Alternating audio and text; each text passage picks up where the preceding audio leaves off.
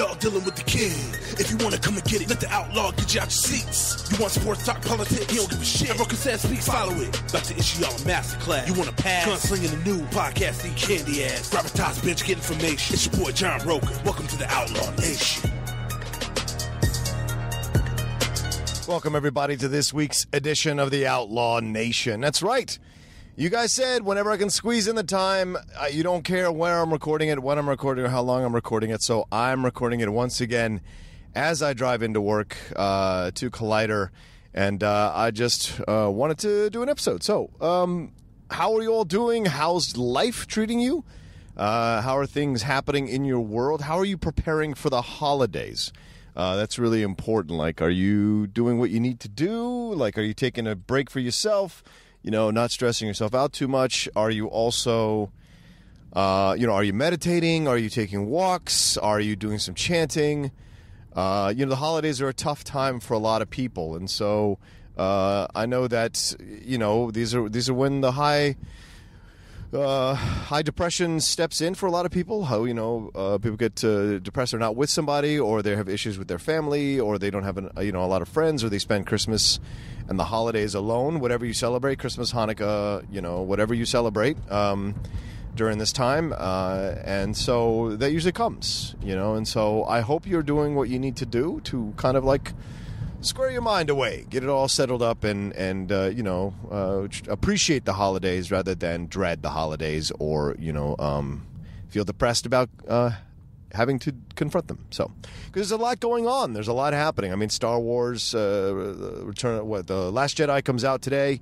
Um, at least here in LA, I don't know if it, it's already come out in some of your countries. If you're listening me in a foreign country or some of your cities, uh, maybe it comes out a little bit later in some of your cities. I, I don't know, uh, but I know it's you know I know, I know it's coming out here in LA tonight. I'm going with my friends uh, tonight. It's going to be a massive crowd of people going. It's going to be insane. So um, it should be a lot of fun though to see it again. I saw it already uh, at a screening on Monday night, and I'm I need to see it again just to unpack everything I saw because uh, I'm not trying to spoil anything, but there's a lot that goes on in this movie. So um, I look forward to hearing what people think.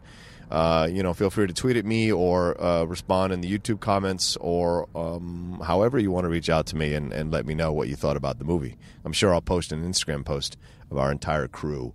Um, yeah, so that's uh, there's that to look forward to. There's a lot of movies out right now uh, that you might enjoy. You know, go back and see some other movies if you feel like it.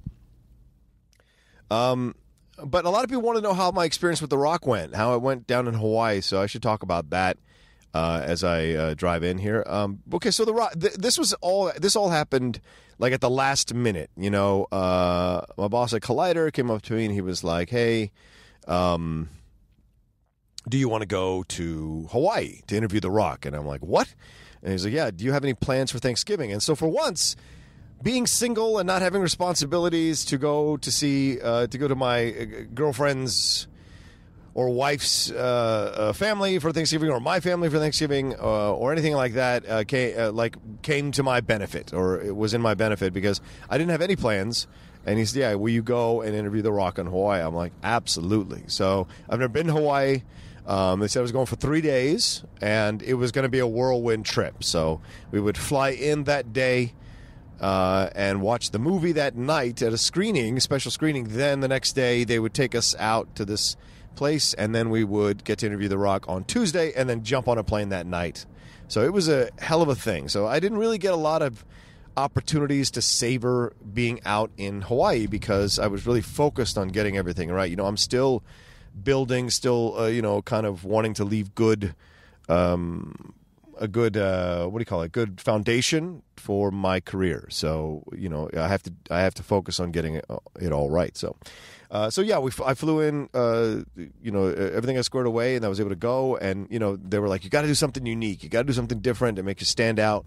from other uh, interviews or you know don't ask the standard stuff sorry i got somebody who is next to me playing their music really really loud because apparently they need to show you that they're badass so they need to play their uh, their music really really loud so yes i get it you're important or you have a small penis either one i don't know but anyway yeah so um, we flew in to uh, on the what was it on sunday yeah we flew in on sunday uh, when we got in, it was really just uh, beautiful. I mean, honestly, incredibly beautiful uh, state. And if you've never been to Hawaii, find a way to go. Um, if like if you're a person who likes to travel uh, and you haven't been to Maui or um, Oahu or any of the uh, islands, I can't encourage you enough to go. It's such a fun experience, and there's a lot of uh, things to see and enjoy and savor uh, in that state. And I was very lucky to um, have that experience to be able to go. And uh, when I went, uh, I got there, took the cab ride over to the hotel, uh, which was which was not a pretty, um, which was a pretty penny. It was not cheap. And then um,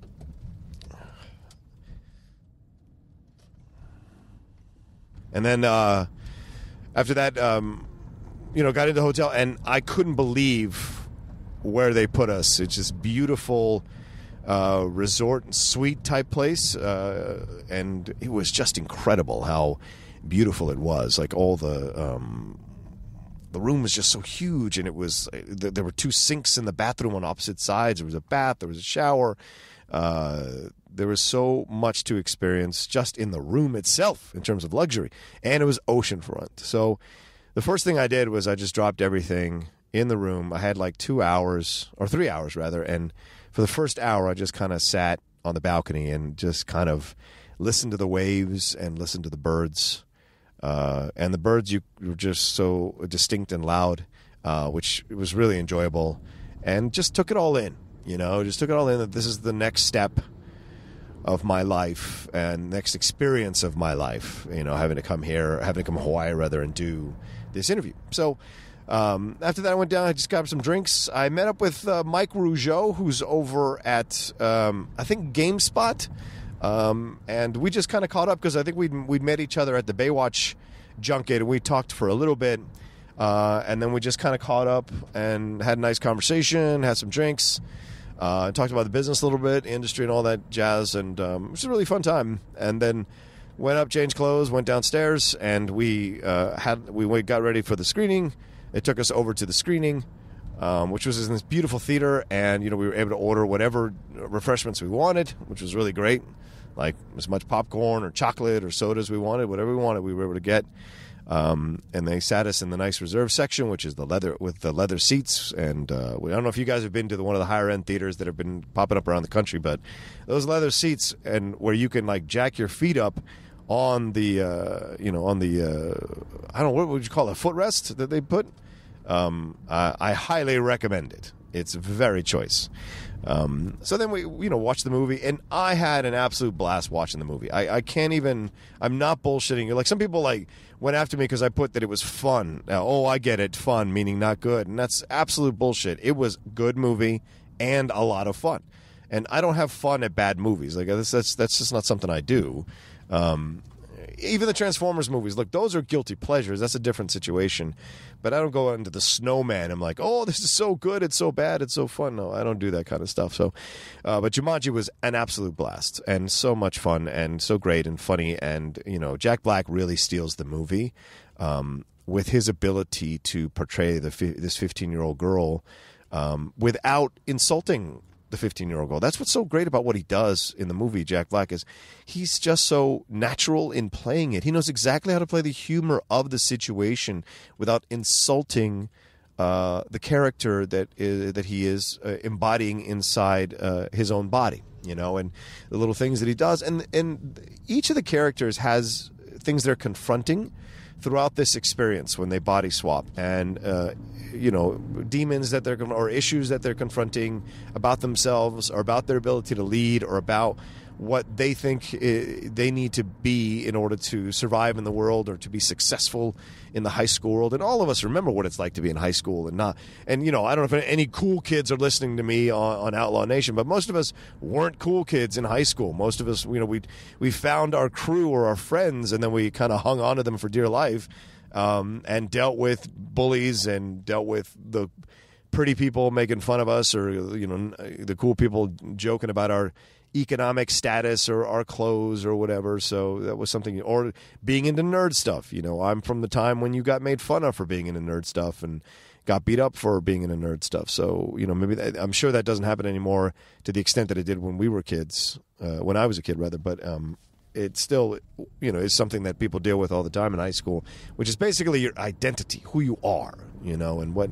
Uh, who you're going to be, and uh, you know what's what's required of you to make that happen. You know, so those are things that you you confront in high school, and so um, it was uh, it's fun to see. It was fun to see them uh, pursue that in such a interesting and positive way, which I really thoroughly enjoyed. So, um, yeah. Then then uh, what happened? Then we uh, got out of there, um, and just went back to the hotel, and I went straight to bed because I just was super tired, and I know we had a long day the next day because we had to get up at seven. We had to be in the lobby at seven fifteen a.m. So couldn't even relax uh, the Monday uh, after flying in. Had to get right out the door and be down in the lobby at seven fifteen a.m. So.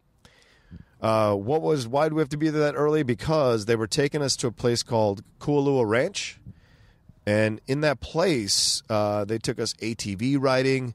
They had us shoot some stand-ups where we were like in front of these uh, places where they shot a lot of movies. So they shot a lot of movies in this place in Kualoa Ranch.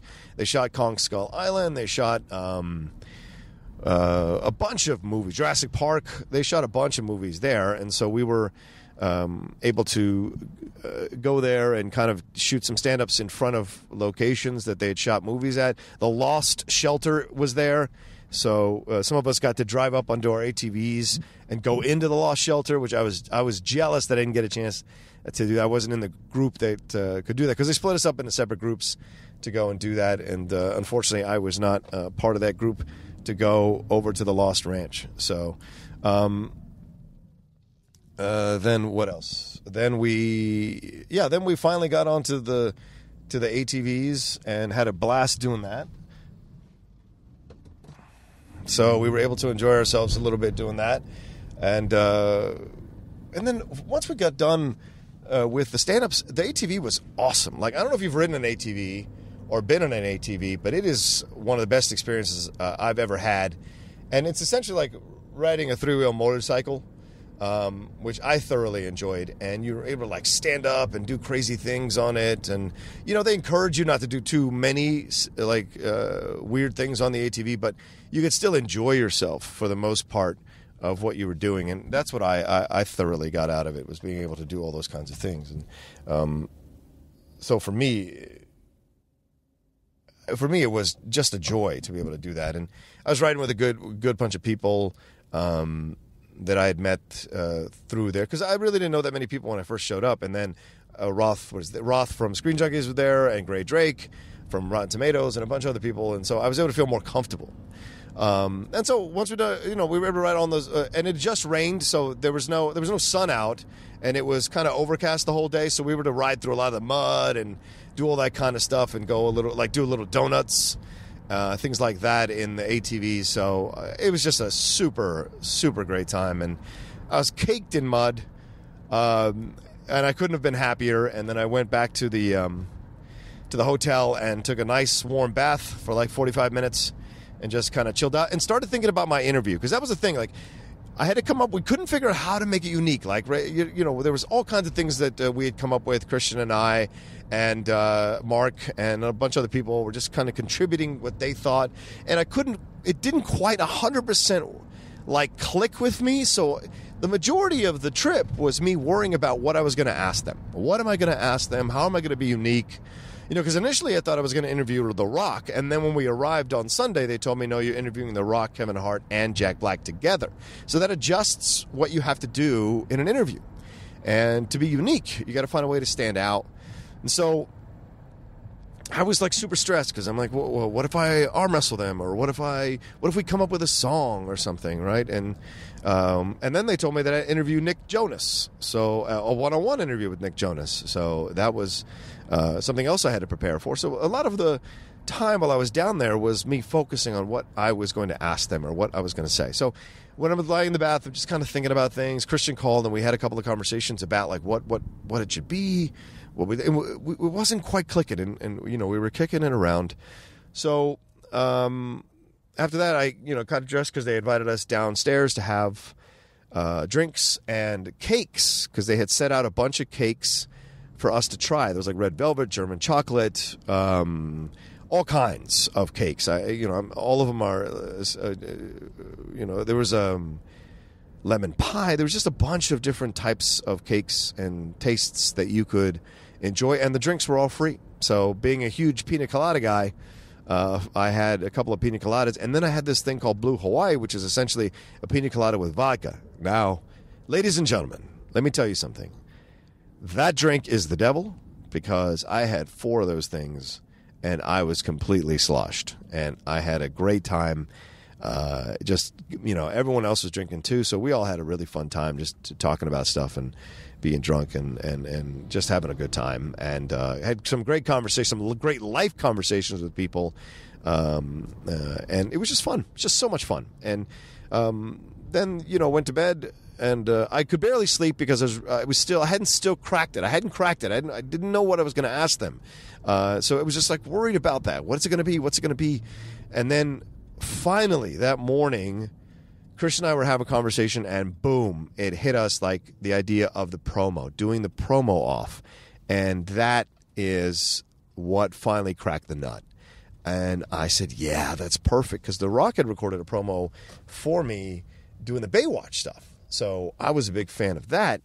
So we thought, well, wouldn't it be funny if we did a promo off where we pit me against Jack Black and Kevin Hart, and The Rock would be the judge? Now, this is a ballsy decision to make, right? Because we don't know that they're going to say yes. And that's the thing that you have to understand about doing these junkets. Like you can prepare, but you better have a backup plan and then a backup plan for your backup plan because you never know what mood the actors or the directors or the producers are going to be in and if they're going to be willing to do what you ask them to do or what you want to do. You know, they might not feel it's in their brand or uh, something they like feel comfortable doing. So you got to have a bunch of plans. So for me, once we did the promo thing, once we cracked the promo, I was able to relax. And it was the first time since I had landed in Hawaii that I was able to relax and focus on it. And I, you know, made some notes and I practiced the promo for like an hour in the bedroom, in the room uh, of the uh, of the hotel and just you know and then i came downstairs and i was ready and i was like okay. And then i made you know obviously i made some backup plan a couple of backup plans but i was really flying by the seat of my pants with the backup plans you know? I hadn't i hadn't planned those out quite as thoroughly as the promo off uh, so because i just felt like that was going to be the right thing and i felt like the guys were going to go along with it if i presented it in the right way. Luckily for me all i kept hearing from other people was they were in a great mood and they were like having fun improving and doing stuff and but i was told like you're going to get like maybe a chance to ask one question. So i said that's perfect because if i just ask for the promo off that's my one question and that'll be the time you know? And we were told we were going to get five minutes and then when it all played it all played out i actually got less than five minutes um, and i was having to adjust on the fly so um, when I got down there, you know, they set up this like nice area for you to like. There's food, there's drinks where you chill out. It's like a press area. You just chilled out, and it was all outdoors. So we were interviewing them, interviewing them outdoors, uh, which was beautiful, right by the beach, um, oceanside, you would say. Uh, and everyone's really nice. Like uh, Sony just took care of us. Sony was really fantastic. And I want to give a shout out to Patrick Santiago, who was our contact while we were down there. Patrick just took care of us. What a genuinely awesome dude. Uh, very nice and you know very very just a sweet dude who wanted us to do the best we could and wanted to provide us anything we needed so that we would be comfortable uh, doing the interviews and be in our best mood as well you know so anyway um, when i got down there got ready uh, for the interview they told us that it was delayed by a couple of hours so, which is standard. Like you guys should know this. Like you get assigned a time, but you have to be prepared to either um, be delayed or be moved up by a little bit. So you just have to be prepared. As soon as you, as soon as you sign in, you're basically saying I'm ready. And so they can either push you or they can uh, push you back rather or push you up. So you just have to, as soon as you sign in, just have to say to yourself, okay, I am ready for this interview just in case it happens right after I sign up. Or if they need to push me back, I can wait and delay and prepare some more. So that's what happened. Uh, so they waited till after lunch, and I was the first person to interview them after lunch. I was, you know, I'd run it by a bunch of the other people who were down there. They were really nice uh, to give me some pointers. You know, Grae Drake and Roth and Nikki Novak, who I met down there, really sweet. Nikki Novak is just fantastic. If you don't follow, if you don't follow any of these people that I'm talking about, follow them. They're really cool people to follow on Twitter, and they they do great work, and it's stuff you can definitely learn a lot from. Uh, either whether you want to you know know more about these people in terms of the stars or whatever, uh, or about the subjects that they're covering.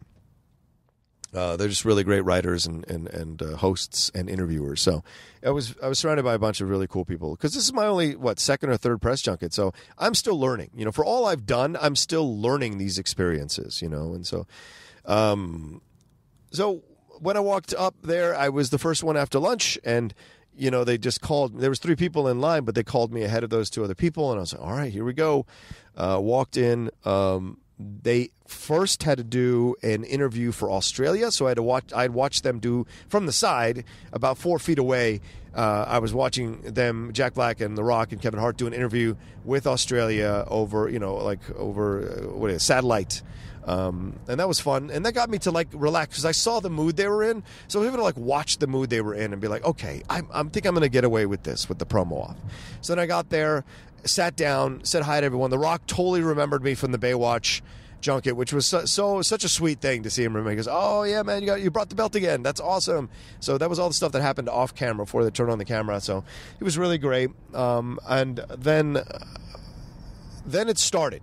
Like they basically, because that's what you do. You don't get to like, hey, are you okay? They don't hold your hand. They're just like, as soon as you sit down, here's the camera, talking to cameras. We'll give you the cue. But as soon as I sat down, they told me I had four minutes. So, ah, man, I had to adjust to four minutes instead of five. And trust me, when you only those minutes are so precious when you're doing this. So, sat down. They gave me the sign of how much time I had.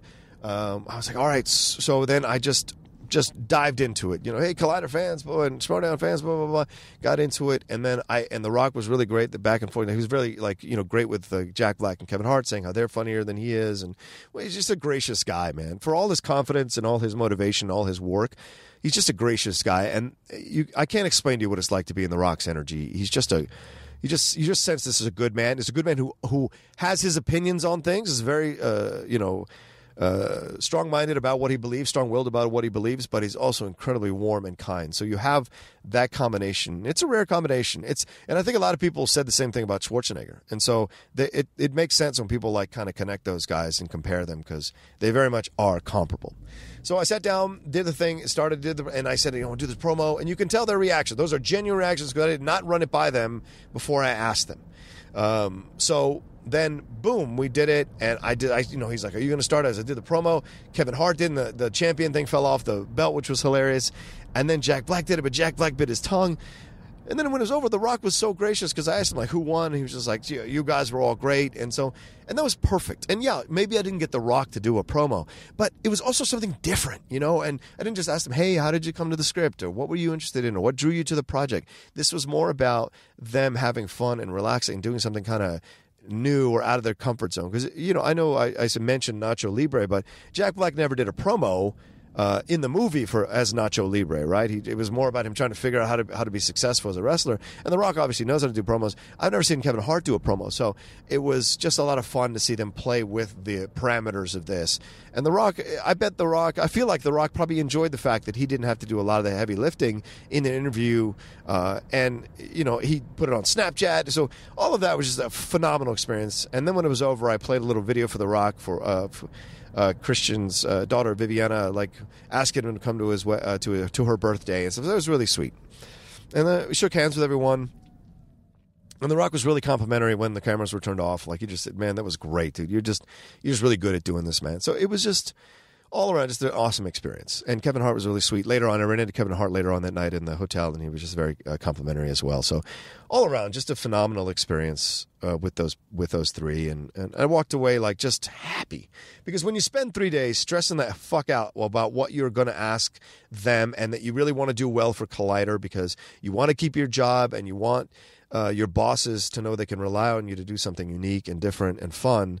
Um, you feel great when you when you accomplish it. And so that's that's all I felt. And I was able to relax and go to the bar and just I took like an hour away from everybody and just kind of sat with my thoughts and listened to some music and just kind of like savored it. You know, I, I it's really important. I, I learned this as I'm getting older to savor the uh, experiences and the opportunities and the things you you go through because who knows when it's going to go away and who knows what's going to happen and who knows you know if I'll just keep doing this for the rest of my life but I'm always going to be a fan and that's the foundation of what I do is yes I get to do all these things and I like to be professional about them and, I, and I'm learning how what the steps are and everything like that as I as I have more experiences in this business but I, at the foundation of everything I'm a fan. I'm a movie fan I'm a TV fan I'm a fan of these people and these work and their works and so I get a special kind of joy interview the, interviewing them and talking with them about their work, their lives.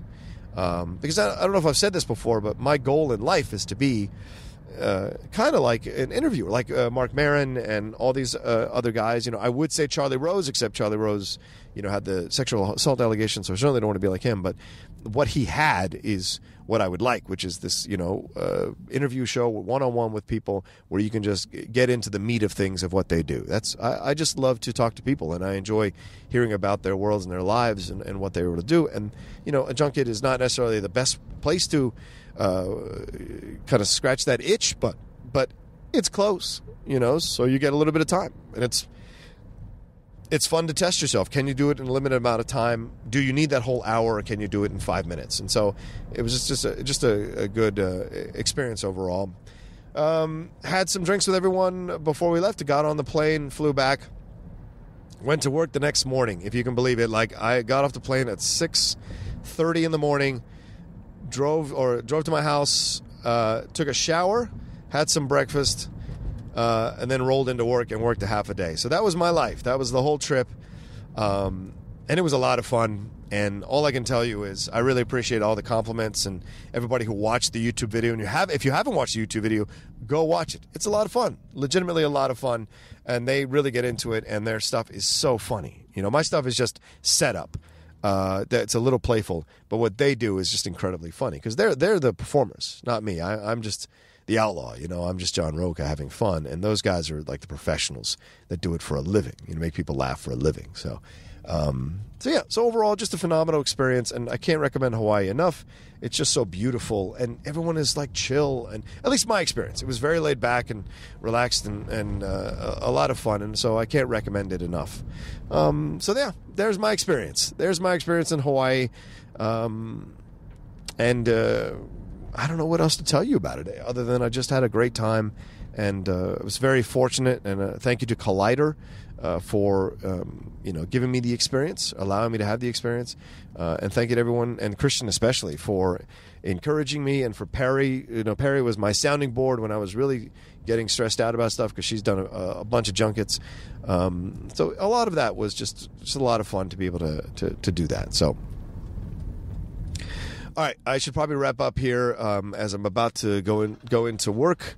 Uh, just want to tell you guys thanks again for encouraging me to keep doing the outlaw nation and for telling me how like you know you want to, to me to take the time even if it's only for half an hour to touch base with you all and uh, and talk with you all so um, uh, you can hear the construction going on behind me so i'll make this quick it's Christmas. I like I said at the beginning of this podcast. I know what happens. I know how how, how down some people get. If you're one of those people that's going to experience this depression, or experience this sadness, or or feel kind of like like you're out of it, I would encourage you to go and do whatever it is to make you happy. Some of you have said, like listening to our podcasts, either Top 10 or the Cinephiles or anything that's on the SK Plus podcast channel, like uh, Don't Be a Beardo, uh, Wanger Show, uh, uh After Schmoe, the Schmoedown Rundown, critically acclaimed, uh, uh, the, the, meaning of all those shows that are on uh, the SK Plus podcast channel. So many people have said like they've helped me. It's helped them through dark times. So that's what I encourage you to do. If you're in a bad place, put on some of our favorite of some of your favorite episodes of our shows and and just laugh and go along with us and know that we're like we're doing this because we want to entertain you and want you to enjoy the stuff that we're doing. So uh, that's what i would encourage you to do. Listen to a, you know if you want to go on a run of top 10 shows or cinephile shows or even outlaw nation shows feel free. If you want to reach out and dm me when it's getting bad feel free. I might be around here in la this christmas because there's just a lot of stuff that's going on. It's out of my control that i might have to stay here. So i will i won't be working at collider because we'll be on our uh, winter break but Yeah, I'll be able to, so I'll be able to DM you back if it gets really bad. So um, just know that I got you. The Outlaw is always in your corner, supporting you. Uh, I want you to be the best you can be, uh, and even when it gets bad, don't be down on yourself because that's part of life. You know, it will pass. Give it time; it will pass. All right, all right.